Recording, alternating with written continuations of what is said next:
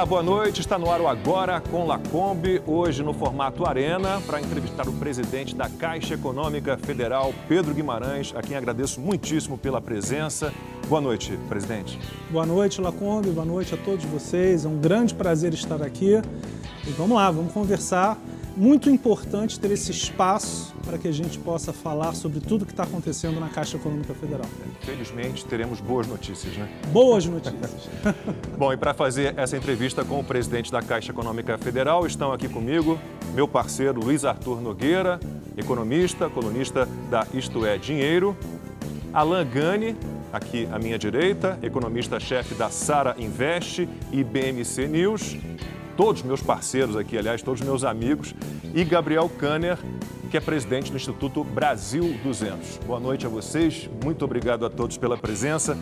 Presidente, a Caixa Econômica Federal teve, no primeiro semestre agora de 2021, no segundo trimestre, resultados recordes, lucros recordes, né, históricos. Na história do banco, nunca tinha havido lucros nesse nível para esses períodos, né? Primeiro semestre, segundo trimestre. O que é hoje a Caixa Econômica Federal em comparação ao banco que o senhor recebeu lá em 2019? Excelente pergunta.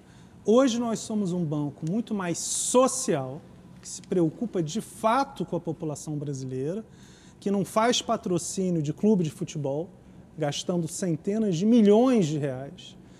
Quando eu assumi, nós tínhamos ao redor de 250 prédios. Só na Avenida Paulista eram 20 prédios, na verdade 21 e fomos para dois.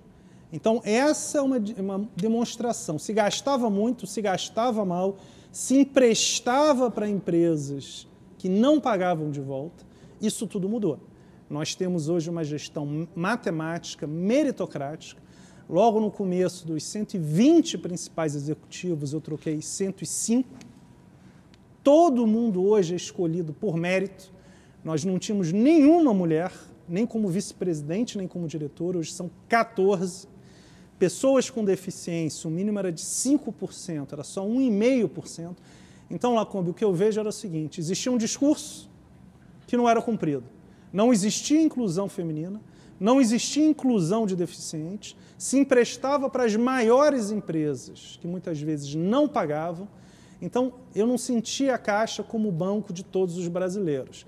Para mim, a Caixa era o banco de poucos. E hoje, de fato, ela é o banco de todos os brasileiros. Luiz. Obrigado, Lacombe. Presidente, boa noite. Um lucro de quase 11 bilhões de reais no primeiro semestre. Devemos comemorar o lucro ou podemos imaginar que os juros poderiam ter sido menores e o lucro ser menor? Ótima pergunta. A Caixa nunca teve lucros tão baixos. É, eu tive, eu vou falar um pouco aqui até para que vocês entendam. Meu pai faleceu de AIDS em 1995, ficou doente em 91. E ele era professor de natação. Né? A piscina do Flamengo tem o nome dele, ele foi em diversas Olimpíadas. E por que, que eu falo isso? Porque eu sempre vivi com medo de perder a casa onde a gente morava e de cheque especial. E quando a gente assumiu, o Banco dos Pobres cobrava 14% ao mês de cheque especial. E não faz sentido matemático, porque 14% ao mês dá de 40% a 50% de inadimplência. Nós reduzimos para 1,8%. Nós reduzimos as taxas do crédito imobiliário. Do, de, vou dar outro exemplo. Crédito para hospitais. Nós reduzimos em 71%. Se cobrava 30% ao ano das santas casas, quando a taxa de juros era de 2, 3% ao ano. E é um absurdo porque tem a garantia do SUS. Ou seja, o banco só perdia dinheiro se fechasse. E nós reduzimos de 30 para 7. Então, o que, que acontece? É, nunca houve taxas tão baixas, só que a Caixa perdeu economicamente 46 bilhões de reais com empréstimos errados. Então a gente não tem mais empréstimo errado. E, de novo, o crédito não é uma garantia de sucesso. Mas óbvio que quando você empresta 15 bilhões de reais para uma empresa, e se ela não pagar, você tem um prejuízo bilionário. O que, que a gente fez? Passou a emprestar para 500 mil empresas, na média 100 mil reais. Então você dilui o risco e empresta para o Brasil inteiro. Mas eu diria que o que, que acontece? Não tem mais patrocínio para clube de futebol, que não precisa, não tem mais gastos multimilionários com prédios que a gente não precisa. e você faz um crédito com muito mais racionalidade. Agora, você tem um ponto importante. Com este lucro, eu estou anunciando aqui, nós vamos reduzir, ao invés de aumentar, algumas linhas de crédito. Então, tem mais lucro, reduz o crédito. Tem mais lucro, abre agência. O único banco no Brasil que está abrindo agência é a Caixa. Ah, mas por quê? Porque, e a gente viaja pelo Brasil, já foram 111 finais de semana viajando pelo Brasil, no Caixa Mais Brasil. Eu sou carioca, como você, morei 15 anos em São Paulo e estou há três anos em Brasília. Mas o nível de miséria que eu vi pelo Brasil, em especial no interior do Norte e do Nordeste, é totalmente diferente. São pessoas que, quando moram, não têm teto na casa, nem parede direito. É, não existe saneamento.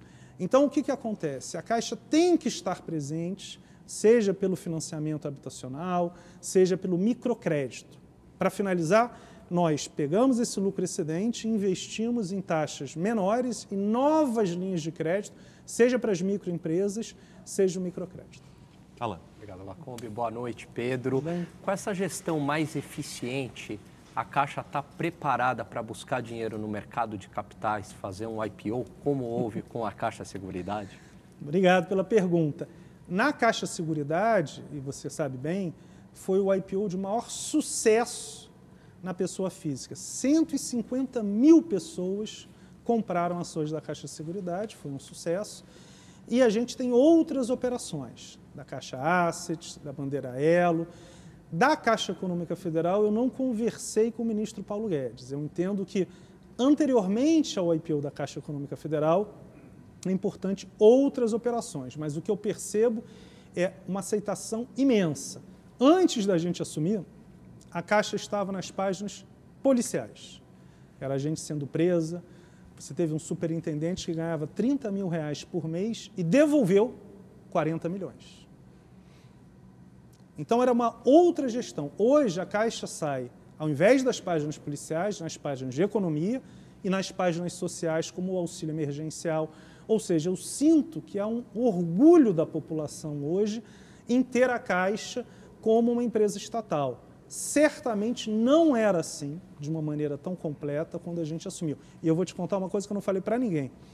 Quando a gente estava preparando a equipe econômica, o ministro Paulo Guedes, ninguém queria ser o presidente da Caixa. Tinha disputa para ser o presidente do BNDES, do Banco do Brasil, todo mundo queria ser da Petrobras, do Banco Central, mas da Caixa, só eu. Exatamente por essa visão que a Caixa estava muito complexa, com uma gestão corrompida. Gabriel. Obrigado, Lacombe. Boa noite, Pedro. Pegando o gancho do que o Alan perguntou, a Caixa é, realizou agora talvez o processo mais rápido e de maior abrangência de digitalização no mundo. Né? Agora, com a distribuição do auxílio emergencial, foram 68 milhões de pessoas atendidas, que dessas 38 milhões eram chamados invisíveis.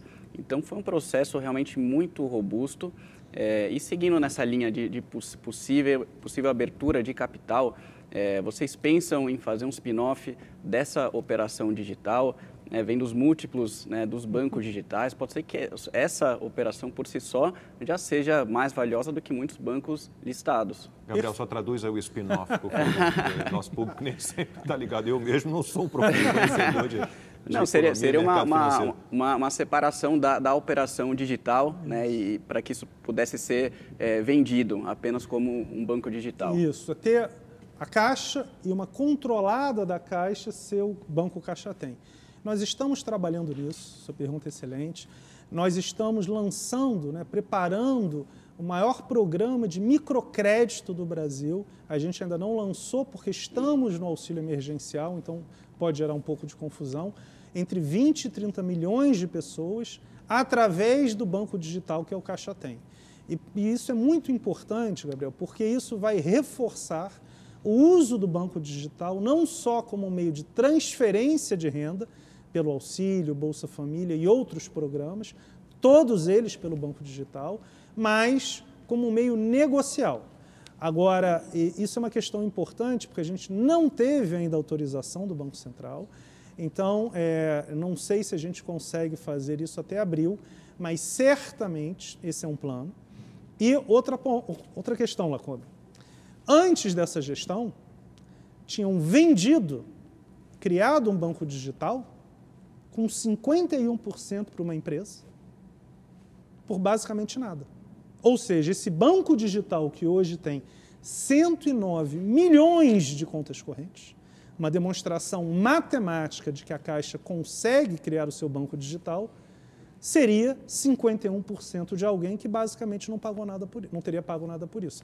Uma demonstração da diferença de gestão. Por isso que antes não tinha lucro. Porque o lucro não ficava na Caixa. Uma série de operações mal feitas e que gerava resultado para outros, menos para a Caixa. Eu gostaria de me aprofundar, então, um pouquinho nisso, que foi a minha pergunta inicial, inclusive. Então, a, a Caixa foi vítima de, de má gestão, de uso político e de corrupção, porque Sim. os balanços do banco não fechavam. Perfeito. Nós tivemos durante 10 anos os balanços da Caixa, ou do FIFGTS ou do FGTS. O que, que é isso? Fundo de Garantia do Trabalhador por Tempo de Serviço, que são quase 600 bilhões de reais, Lacombe.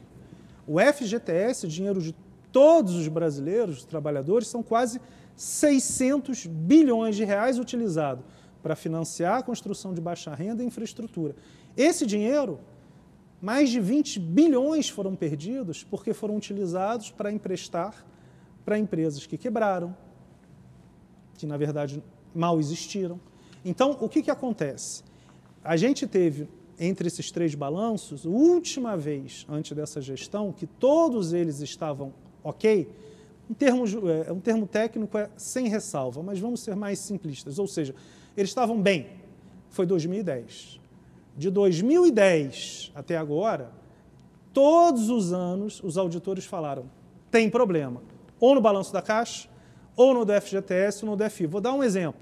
O Petrolão, na Petrobras, foram só dois trimestres de problema, para vocês terem uma noção do uso da Caixa. A Caixa teve só ela 10 trimestres, ou seja, Petrobras, dois trimestres, Caixa Econômica, 10 trimestres, o que demonstra aquilo que a gente falou. Por que, que não tinha esse resultado tão forte?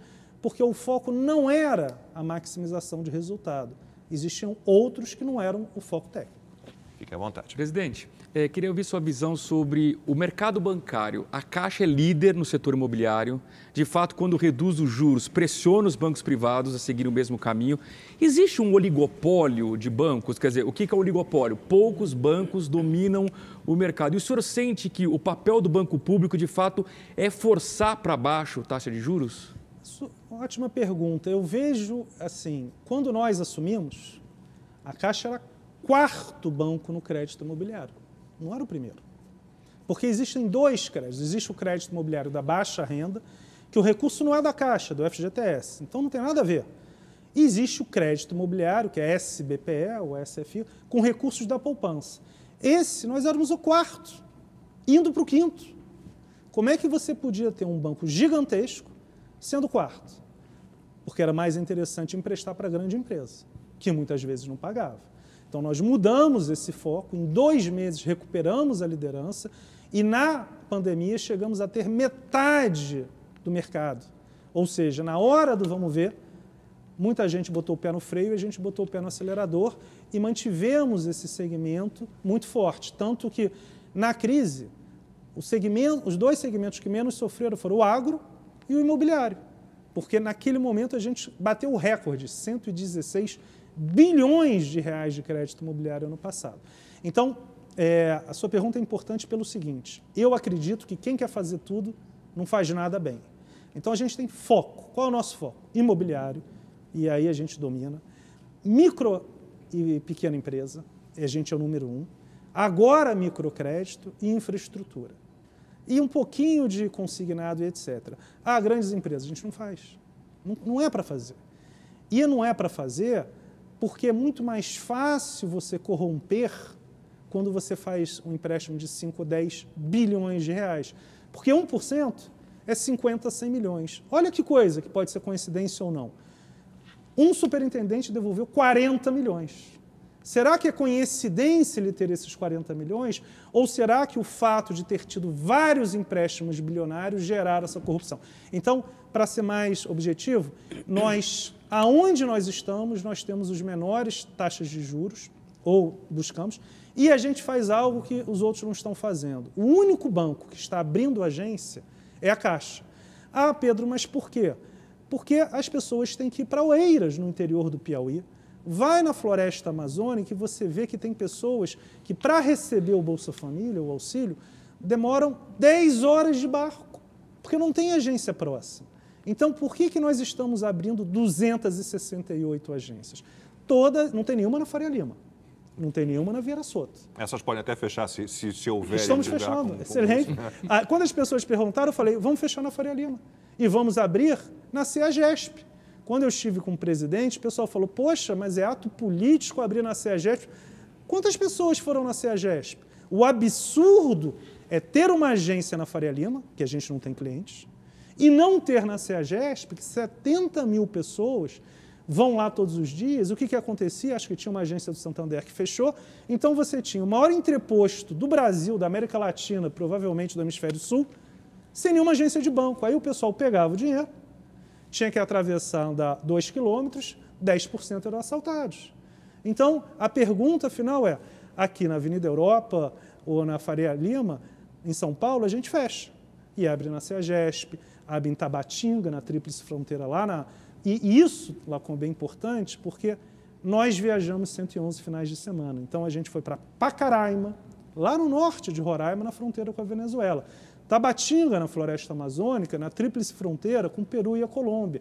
Interior do Piauí, em Oeiras. Ou seja, é, a Caixa está onde ninguém quer estar.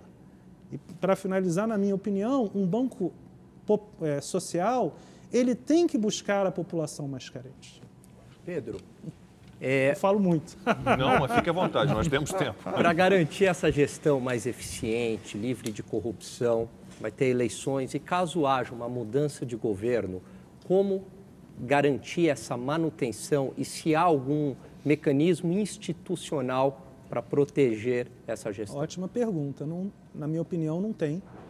E na minha opinião, eu sou matemático.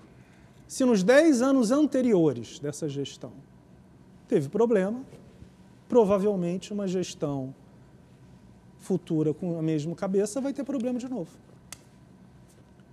E como é que você faz para blindar isso? Abertura de capital ajuda a reduzir o problema, por isso nós estamos abrindo da Caixa Seguridade, Caixa Asset. Por quê? É, porque expõe os problemas. O Banco do Brasil, que teve um problema pequeno em 2004, em 2006 é, teve uma, não é abertura de capital, mas fez uma operação chamada Novo Mercado. E, de fato, o Banco do Brasil ele estava mais exposto para o mercado. Então, a minha impressão é que acabou direcionando para a Caixa Econômica Federal que as pessoas não sabiam muito o que estava acontecendo. Porque, Lacombe, quando as pessoas falam o seguinte, não, Pedro, se uma empresa listada né, na Bolsa de Valores fosse sinônimo de não ter problema, a Petrobras não teria o problema. Só que ela só teve dois trimestres com balanço ruim. A Caixa teve dez. Então, quando você não tem os problemas expostos, em especial internacionalmente, saindo na Inglaterra, nos Estados Unidos, que vão impactar toda a visão de um país, que foi o que aconteceu com o petrolão. Quando houve o petrolão, o Brasil inteiro foi penalizado. Mas ninguém falou do problema na caixa do FGTS.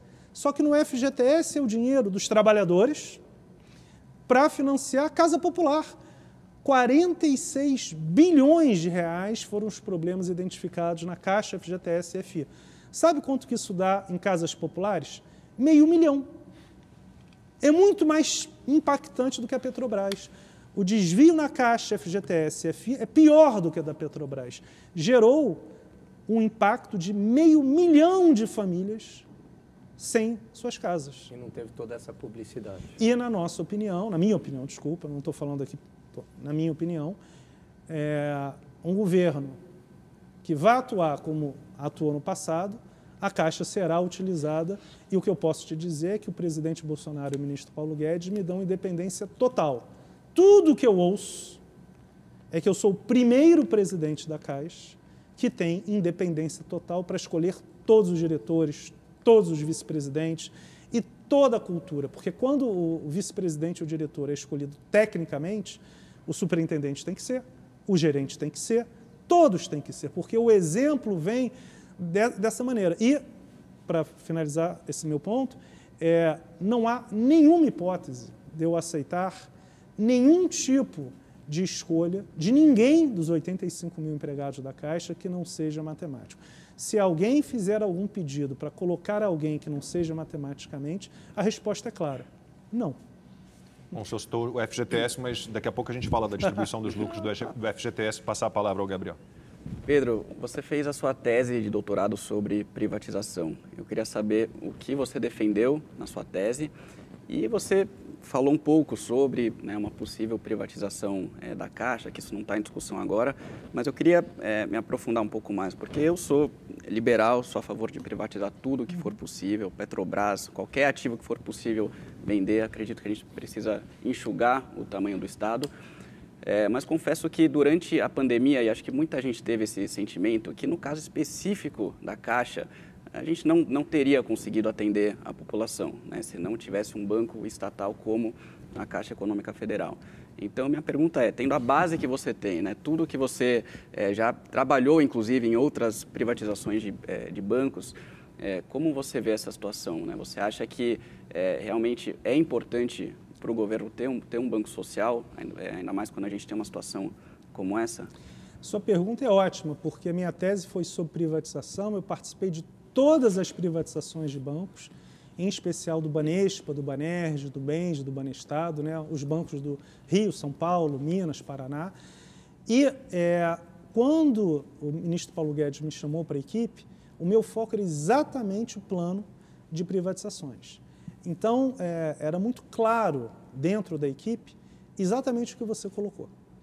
Claríssimo. Era claro que o presidente dizia que Petrobras, Caixa e Banco do Brasil não eram nem de perto discussões de privatização, mas a gente fez uma série de estudos. E por isso, Gabriel, que meu, na minha segunda semana eu fui para Roraima e a equipe. E são 111 finais de semana. Começamos em Roraima, Amapá, Rondônia, Acre, Amazonas, Piauí. Na sexta, na sexta semana eu até conversei com o presidente e com o ministro, eu falei, tem alguma coisa diferente aqui. Porque, de novo, é, o ápice da pobreza para mim é a Rocinha, que tem muita gente humilde. Mas é outro patamar de pobreza. O que eu vejo no norte, no nordeste, no interior, não tem nada a ver com a Rocinha. Que existe, de novo, muita carência, mas é outro nível de carência. Então, eu imagino o seguinte: a gente está vendo agora todos os bancos fechando agências. Quem é que vai abrir agência no interior do Piauí? Nós estamos, das 268 agências, ao redor de 30 são no Pará, mais 30 no Maranhão, 20 no Ceará, ou seja, a gente abre nos lugares que tem a menor densidade de população, menor densidade, menor é, é, PIB per capita. Se você for ver, a grande maioria das agências tem 7 mil reais de PIB per capita. A média do Brasil é 35%. Ou seja, nós estamos abrindo aonde, na teoria, não deveríamos abrir. Qual que a gente faz, como, para encaixar a matemática, as prefeituras têm que migrar toda a folha de pagamento para a Caixa. Beleza. Mas não seria uma decisão de um banco privado. Então, é, outra coisa, microcrédito. Nós vamos fazer para 20 a 30 milhões de pessoas. Só que são os invisíveis. Não são as pessoas do Bolsa Família. Porque estas pessoas não têm capacidade de pagar. Então, você tem três grandes grupos: o Bolsa Família, que é a transferência de renda, no outro lado, as pessoas que têm score de crédito, que você consegue emprestar normalmente, e no meio do caminho, os invisíveis. Esses invisíveis ninguém empresta. Aí o que, que acontece? Mas eles precisam de crédito. Aí eles vão tomar o crédito nas financeiras, que cobram 20% ao mês. Nas financeiras, ou pior ainda. Ou nos agiotas. Então, que é pior. Né? É, e o agiota, mais agiota ainda, que aí. Então, o que, que significa isso? Nós estamos buscando isso, apesar deles não terem histórico de crédito ou serem negativados. Do ponto de vista matemático, é algo que a gente equilibra com o social. Você me perguntar, Pedro, vai ser uma rentabilidade absurda? Não. Por outro lado, eu vou ter 20 a 30 milhões de clientes que nos próximos 20 anos terão uma fidelidade com a Caixa. Porque é óbvio que, do ponto de vista de tecnologia, nós não vamos competir com os bancos digitais ou os privados. Então, o que a gente tem que pensar? De novo, ótimo inimigo do bom e não vamos fazer muita coisa, porque quem quer fazer tudo não faz nada bem. Aonde que a gente vai? Imobiliário, micro e pequena empresa microcrédito. Porque este microcrédito são os nossos 20 a 30 milhões de clientes para 2030 e 2035. E neste ponto a gente equilibra com o social, porque, de novo, é muito importante lá, como eu vou mandar para vocês, até convido vocês, quando você viaja o Brasil inteiro, né, e de novo, desde janeiro de 2019, fica claro a resposta para a tua pergunta. Eu acredito que não há possibilidade de um governo brasileiro, enquanto nós tivermos as, as desigualdades que a gente tem, com o tamanho do Brasil, de prescindir uma Caixa Econômica Federal. Ah, daqui a 50 anos, quando não tiver mais desigualdade, ok. Ah, se a gente fosse do tamanho do Rio de Janeiro, ok. Mas ter 8 milhões e meio de quilômetros quadrados, com tanta diversidade e com tanta desigualdade, alguém tem que fazer o auxílio. Porque o auxílio, a lei foi promulgada no dia 3 de abril. No dia 6, a gente tinha pago 6 milhões de pessoas. No dia 30 de abril, 50 milhões. 40 mil empregados da Caixa estavam trabalhando de 8 da manhã até a hora que a agência fechasse. E 22 sábados.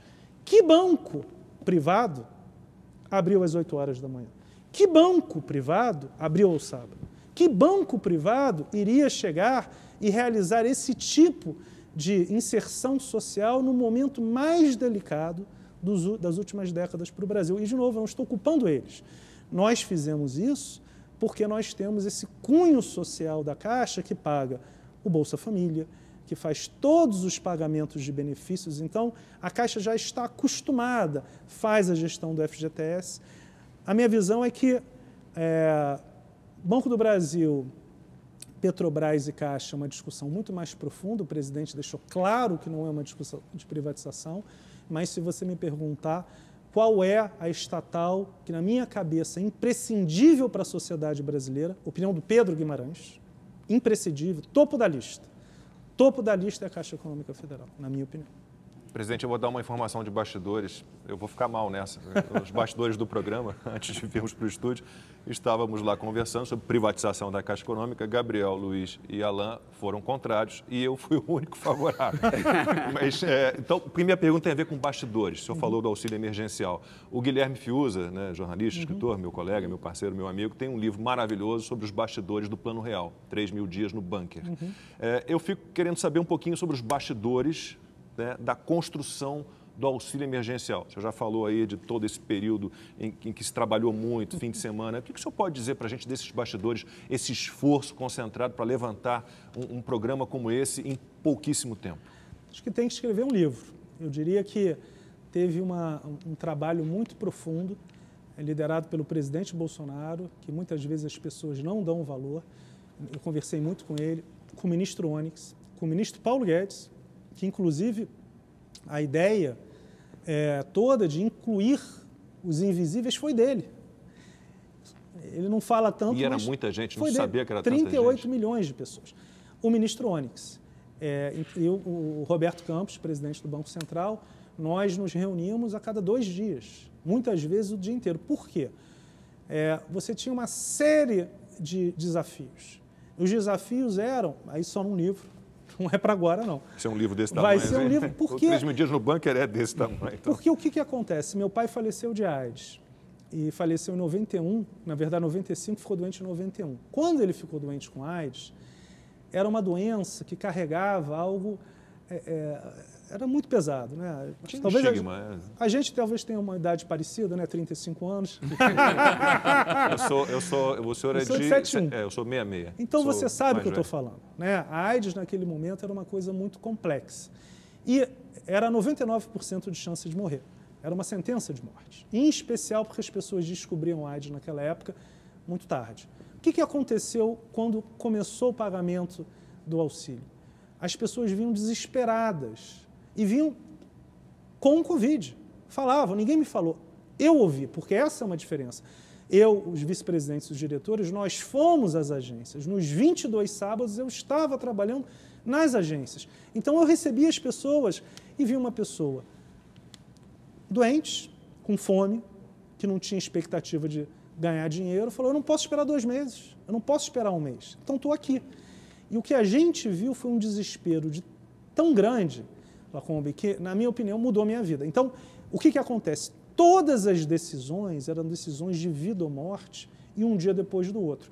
E nesta guerra de narrativa que existe hoje no Brasil, foi promulgada tipo dia 2 ou 3 de abril, e no dia 4 já estavam cobrando a gente pagar as pessoas. E realmente, em 20 dias, pagamos 50 milhões. Ao mesmo tempo, os Estados Unidos estava mandando cheque e o cheque voltando. Ou seja, o Brasil fez o maior pagamento que eu tenho notícia né, é, do auxílio online para um banco digital que se criou em 20 dias. O Caixa Tem tinha 30 mil usuários até o dia 30 de março, que não funcionava direito. Um mês depois, eram 50 milhões, que continuava com problema, mas era, passou de 30 mil para 50 milhões. Vai buscar, vê todos esses bancos digitais que valem bilhões. Ninguém tem 50 milhões. E vários deles, ah, vou ajudar, vou ajudar, só que você não abria a agência ao sábado. E você não tinha, para terminar esse ponto, eh, os, meus, os empregados, como eu, as pessoas chegavam a atender 10 mil pessoas por dia. Então houve uma, uma, questão, a gente vai ter esse livro. De repente eu chamo o Fiuza para escrever. Estou aguardando ansiosamente. Vai ser um ótimo livro, com certeza. É, e, e, virou filme, né? O 3 mil dias no bunker. Então, quem sabe a gente também tem um filme posterior. Presidente, nesse contexto, deve ter sido emocionante ver pessoas passando fome, literalmente, precisando do auxílio. Mas, por outro lado, até pela abrangência, aí, 68 milhões de pessoas, muita gente que não precisava recebeu. E isso gerou, em termos econômicos, algumas distorções e algumas cadeias produtivas. Por exemplo, o material de construção. As pessoas aproveitaram, até acho legítimo, aproveitaram, compraram tijolo, cimento, azulejo, reformaram até residências humildes, nada contra, mas a indústria não estava preparada para isso. E a gente paga a conta até hoje uhum. com preços absurdos, afetando todo o setor imobiliário. É, havia o que fazer nesse sentido? Ou era melhor realmente despeja dinheiro na economia no primeiro momento e depois vai afinando o programa? Ótima pergunta. A, a impressão que existe é diferente da realidade. Primeiro, todo mês havia uma rechecagem da base. E o nosso percentual é menos de 0,3%. É um 0, é menor do que nos Estados Unidos. É realmente muito baixo. Qual foi o maior problema? No primeiro mês. No primeiro mês, a gente recebeu 109 milhões de pedidos. No começo, eu lembro que o ministro Paulo falou: pô, Pedro, vamos tentar pegar a base de dados do Uber, como é que a gente vai achar tanta gente? A gente fez um app em dois dias, o app do auxílio, e em uma semana e meia tinham 109 milhões de pessoas. 109, ou seja, oito entre cada dez adultos no Brasil falaram que tinham que receber o auxílio. Isso não é correto. 41 milhões não foram aprovados, mas enquanto isso, Lacombe, o que, que aconteceu? Todo mundo nas agências. Então a gente teve aquelas filas, mas por que, que a gente tinha fila? Porque a gente começou a receber os pedidos no dia 6 de abril, a data prévia analisou, demorava uns 3, 4 dias e a gente começou a pagar. Né? Já começou a pagar dia 6, aí é uma questão mais técnica de uma base de dados que a gente tinha, mas aqueles invisíveis a gente começou a pagar do dia 10 a dia 15 no máximo. Só que todo mundo ia na agência, porque ia quem tinha recebido, ia, naquela época tinha uma coisa, estamos analisando, aí existia até uma brincadeira, falou, pô, está analisando. Então a pessoa que não tinha sido aprovada ia lá para ver se na hora seria, e quem foi reprovado queria entender. Então nós tivemos em abril uma média de 40 milhões de pessoas indo todos os dias às agências da Caixa. Olha que coisa. Então, o primeiro mês foi mais complexo. Só que no segundo mês já houve uma redução muito grande. Tanto que, do ponto de vista financeiro, o valor é menos, de novo, menos que 0,1. É um número muito pequeno. E mais, as pessoas estão devolvendo. Eu tenho amigos que me falaram que os filhos receberam e eles só descobriram a hora de ter que pagar no imposto de renda. Então, o que, que aconteceu? Quem recebeu indevidamente está tendo que pagar, isso é um fato foi um número menor. Houve fraude, e aí, como é que é a fraude mais comum? No começo, houve um roubo anterior de nome, de CPF, etc. E as pessoas, em especial contra os mais humildes, criavam um e-mail falso e roubavam a senha. E como é que a gente descobriu? Na hora de pagar, a pessoa humilde, era 99% os humildes, tentava sacar e a gente via que já tinha sido sacado. Mas aí é só no primeiro mês, porque a gente cancelou todos esses CPFs. E aí a pessoa, como fazia o segundo cadastramento, acabou. Então, o primeiro mês foi o mês mais complexo, tanto de fila quanto de fraude. Depois foi residual, mas é, o seu, você colocou um ponto muito importante. Por que, que acabou é, é, o tijolo? Por causa dos invisíveis. Quem usou foram os invisíveis, termo que o ministro Paulo Guedes cunhou. Porque o pessoal do Bolsa Família era um pessoal muito humilde. Mas as pessoas dos invisíveis, eles tinham uma renda, eles tinham um produto. Então, estas pessoas muitas vezes utilizaram para ampliar o próprio negócio. E que isso também ajudou a contratar pessoas. Por isso é que o Brasil, diferente do que existia um senso comum, em 2020 foi um dos países que menos caiu. Caiu 4%. Então, é, o seu ponto é muito importante, mas era muito difícil. Quer dizer, como é que você ia não tinha dado de 38 milhões de pessoas. Então, a verdade é que a economia, o setor financeiro e o governo não conheciam essas pessoas que eram, por exemplo, o cara que vai entregar, é, é vai estar ali no sinal entregando balo, etc. São ah, o ambulante, de novo, na praia. São as pessoas que vivem à margem da economia formal, mas têm renda, que é diferente, de novo, do Bolsa Família, que não tem renda e depende 100% disso. Eles Alguns fizeram um puxadinho especial no, no, naquilo que era o Casa, Verde, o Casa Verde Amarela, mas a grande maioria foi das pessoas que tinham um negócio e que acabaram utilizando para ampliar o negócio. Pedro, voltando à discussão dos juros, o senhor falou que a taxa de juros né, é, de financeiras são muito altas. Né? Por que, que a taxa de juros para a pessoa física no Brasil é tão alta? É um problema fiscal? É pouca concorrência? Qual é o seu diagnóstico? Excelente pergunta. É, eu falo muito isso com o Roberto, Roberto Campos, meu amigo há muito tempo, do Banco Central. Que a gente vai ter várias, tem o Open Banking, etc. Eu falo, Roberto, não existe no Brasil hoje, é, como existe nos Estados Unidos, na Europa e na China, é, uma relação de se cobrar a taxa de crédito da pessoa física realizando um modelo matemático. Porque não tem modelo matemático que explica se cobrar 14% ou 8% ao mês no cheque especial. Não tem. Não tem nenhum modelo matemático que vai explicar se cobrar 10% do rotativo do cartão. Não faz sentido, porque para equilibrar, você vai ter 40% de inadimplência. Então não é razoável. Você tem isso mais naqueles produtos de é, empresas e nos produtos como se fosse, por exemplo, o consignado. Mas o consignado você tem a garantia real. Né? A garantia, efetivamente, por exemplo, a pessoa que é aposentada, você tem a garantia da aposentadoria. Você só perde dinheiro se a pessoa falecer, que aí você não vai conseguir. Então, é, na minha opinião, o que acontece é o seguinte: você tem muito tempo de taxa de juros absurdas no Brasil, absurdas. Né? Para estabilizar a inflação, você chegou a ter taxas de juros 50%, 40% ao ano e você continuou com essa taxa de juros real durante muito tempo. Ela só foi reduzida nesse governo. Então, a taxa de juros real, que é a diferença entre a taxa de juros Selic e a inflação, fez com que você tivesse quem precisava tomar dinheiro, pegar emprestado, pagando qualquer preço, e quem poderia tomar, não tomava porque ganhava muito mais dinheiro comprando o título público federal. Era uma questão do que se chama de rentistas. Por que, que a Bolsa de Valores, por exemplo, tinha 500 mil é, investidores e hoje tem 4 milhões? Porque quem tinha dinheiro ganhava tanto dinheiro deixando o dinheiro é, em título público ou CDBs que não precisava correr o risco. Quando você reduziu esse spread, esse, diferencial, a, é, realmente era obrigado, as pessoas iam tomar um risco. Isso funciona para os bancos. Os bancos ganhavam tanto dinheiro com diferencial entre o que você toma, que é o quê? captação. Estou tentando explicar um pouco. É o depósito à vista, depósito de poupança. Então você normalmente paga barato pelo seu CDB. O banco nunca te paga 100% da Selic. Ou seja, se a Selic está em 5,5%, 5,25%, ele não vai te pagar no seu CDB 5,25%. Ele vai te pagar 70%, 80%, se você for um cliente primo, 90%.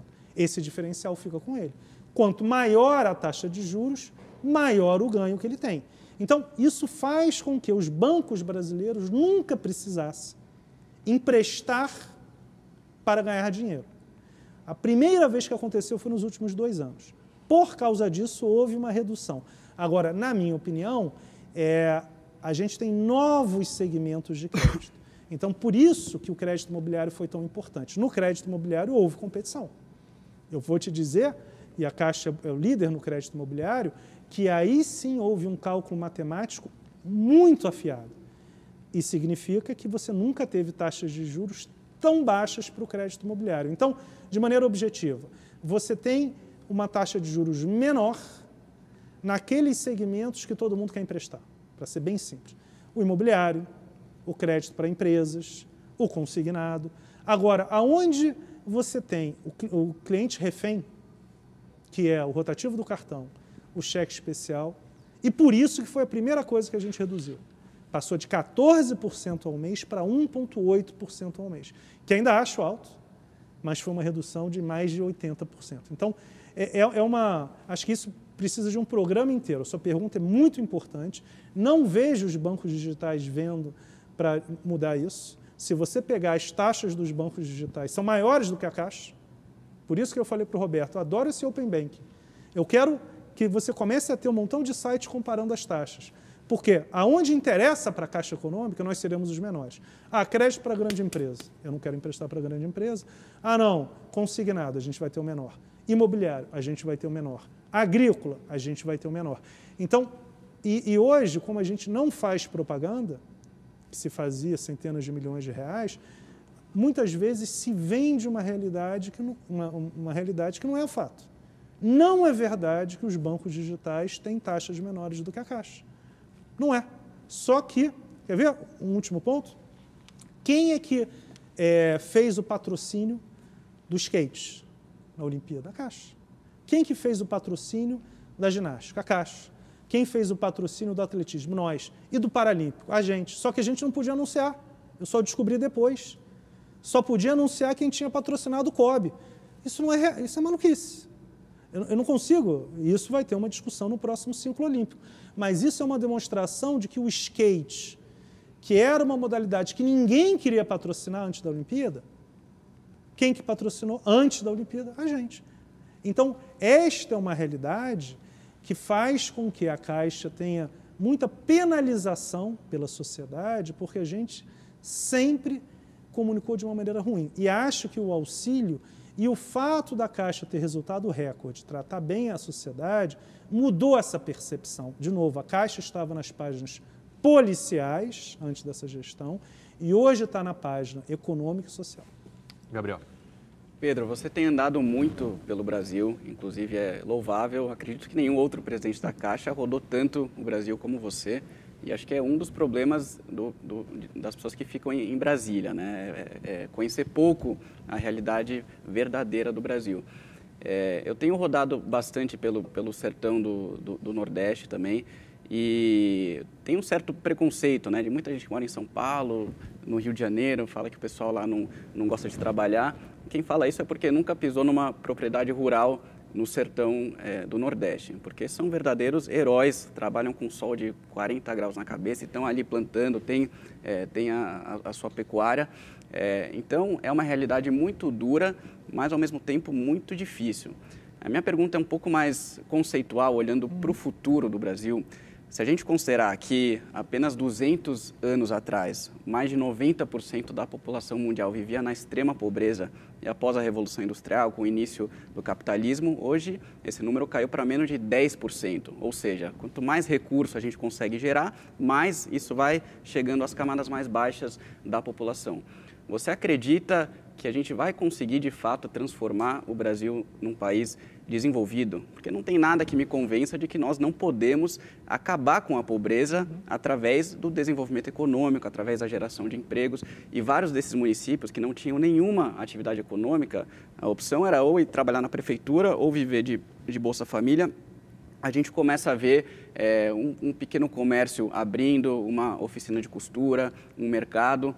Isso vai movimentando a economia desses pequenos municípios de 2, 3, 4 mil habitantes. Então, a minha pergunta é: você acredita que vamos conseguir, né, pode demorar um pouco, mas de fato acabar com essa extrema pobreza no Brasil ao longo das, das próximas décadas? Acredito. É, se houver esse foco, e nós estamos, por exemplo, investindo na agricultura, pela primeira vez de fato, e em especial nesses setores, por exemplo, irrigação, silo, armazém e Pronaf, que é o investimento para o pequeno produtor. Um exemplo claro, eu gostei da tua fala, é, e nós fomos a Petrolina várias vezes, a Juazeiro, no norte da Bahia, né, no nordeste da Bahia, e lá está a maior produção de manga e uva do Brasil, de exportação.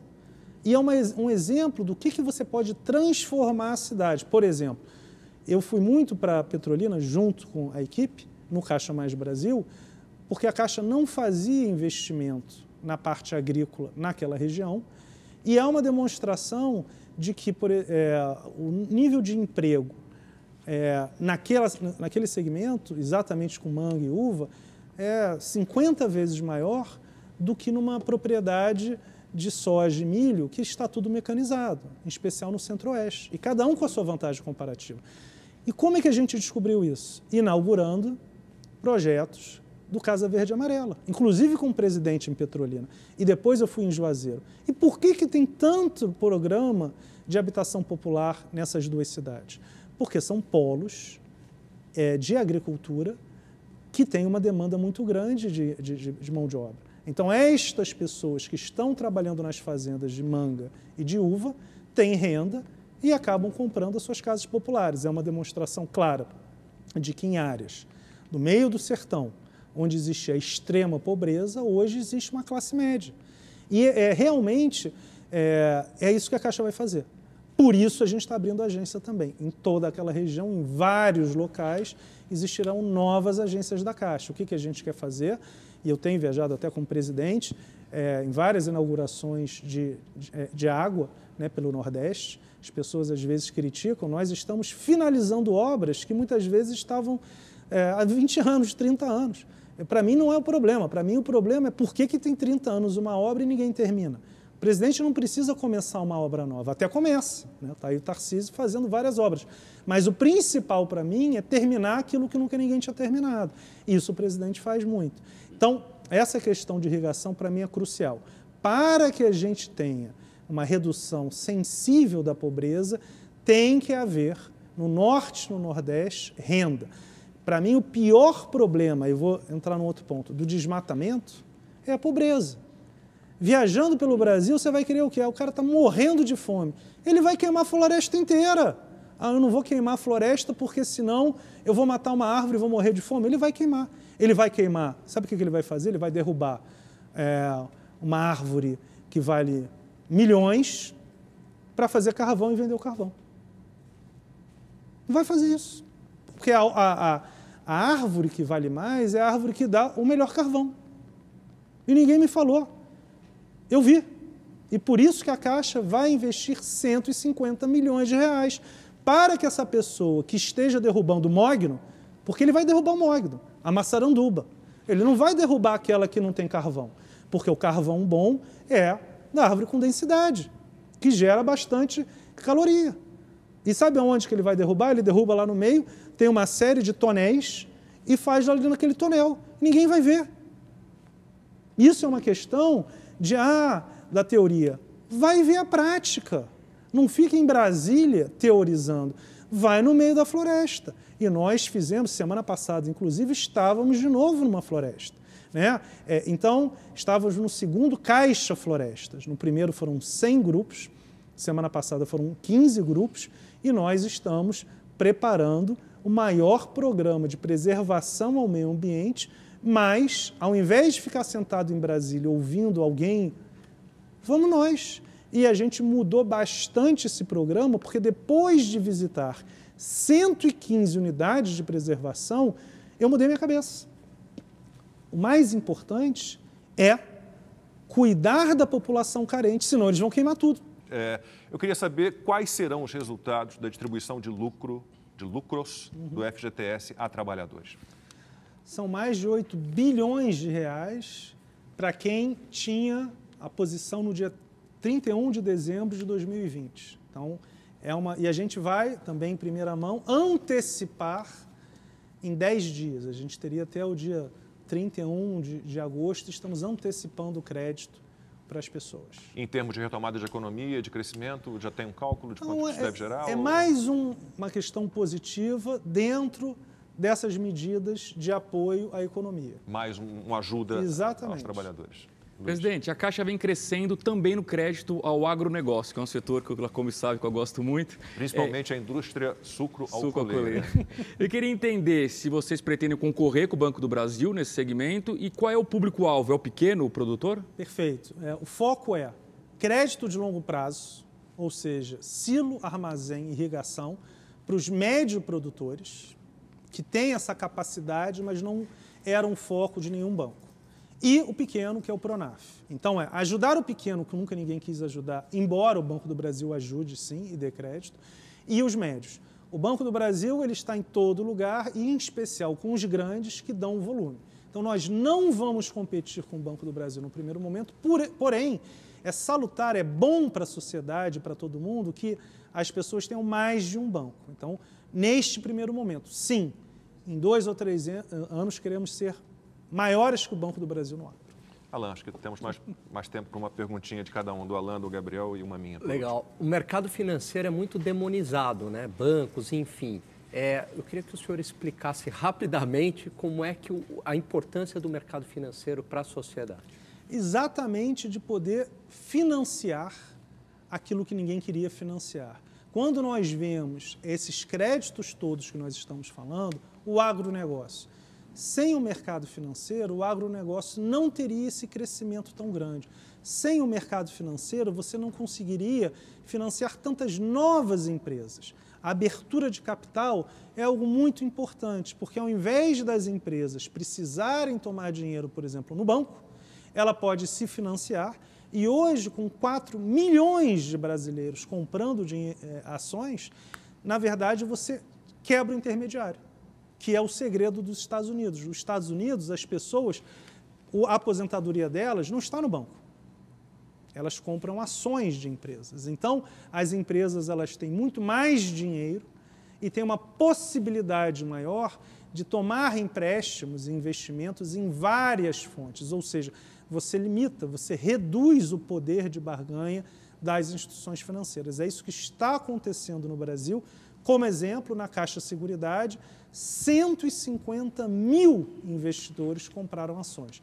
Maior IPO é, que já aconteceu no Brasil, de fato. Gabriel, uma pergunta curta para uma resposta curta. Não, eu queria que você falasse rapidamente sobre o programa de habitação, minha agora casa Verde verde, e e amarela, é, como, como é que está indo o programa e se há perspectiva de, de uma ampliação para faixas mais carentes da população. É, ótima pergunta. A Caixa hoje, como o Ministério do Desenvolvimento Regional reduziu muito a remuneração dos bancos que operam, basicamente só a Caixa faz. Nós temos 99,9% dos novos empreendimentos do Casa Verde e Amarela. Então, é mais um exemplo da relevância da Caixa. Nós sempre faremos. Essa é uma questão fundamental do banco, financiar a habitação popular. Presidente, é, o senhor faz questão sempre de, de dar suas entrevistas com o crachá da Caixa Econômica Federal. O senhor tem muito orgulho, dá para perceber, de trabalhar, estar à frente desse banco. É, e o senhor sempre fala que tem, sempre teve esse sonho de ajudar as pessoas. Quero saber se o senhor está conseguindo, está realizando esse sonho e se esse sonho passa por uma carreira política de alguma forma. Não, Lacombe, eu vou te dizer, né, é muito difícil falar. Meu pai faleceu de AIDS e, e ele era técnico de natação, a piscina do Flamengo tem o nome dele. Eu nadei 20 anos. Quando eu voltei de uma Olimpíada universitária, ele tinha perdido 30 quilos. Então, é, eu só consegui mudar a história da minha vida, da minha família, porque eu tive um, um patrocínio do Brasil. Então, quando eu estava fazendo meu mestrado e meu doutorado fora do Brasil, eu tinha um sonho de poder ajudar as pessoas que tinham me ajudado a mudar de vida. Então, eu tenho um grande orgulho de ser o presidente da Caixa, por isso as pessoas não usavam crachá. Não usavam crachá. E eu uso na reunião com os ministros, sempre com o presidente. Eu só não uso quando eu estou nadando, mas quase sempre eu uso. Pelo contrário, eu fui num casamento um mês atrás, ser padrinho, e eu achava que estava faltando alguma coisa. Era o crachá, mas eu achei um pouco demais é de crachá. Não vai botar na sunga na hora Mas, de nadar também? mas realmente é um grande orgulho e, e poder sentir que um pouco daquela ajuda que eu tive, tão importante para mim no momento que eu mais precisei, que eu me senti perdido e o Brasil me ajudou, é de fato é, tá e por isso que esse eu fico tão feliz em poder ajudar. E, e passa na sua cabeça uma carreira política? Falam vice do Bolsonaro, Senado, governo Não, do Rio? Eu, eu sou presidente da Caixa com todo orgulho e sou uma pessoa muito próxima do presidente, porque eu gosto dele, admiro e o conheci em 2017, quando ninguém no mercado financeiro, absolutamente ninguém, nem cogitava ele. Conheci ele em março de 2017. Então, é, a conversa com ele, mas na minha cabeça, muito claramente, até dezembro de 22, eu sou o presidente da Caixa com todo orgulho. Presidente, muitíssimo obrigado pela sua participação, pela entrevista aqui ao Agora com a Lacombe. Muito boa noite ao senhor, agradeço imensamente. Obrigado. Um grande prazer, gostei muito de todos vocês. Gabriel, Luiz, Alain, obrigado a vocês, obrigado a você que nos acompanhou. O Agora com Lacombe volta na quinta-feira da semana que vem, às 11h30 da noite. Até lá, boa noite.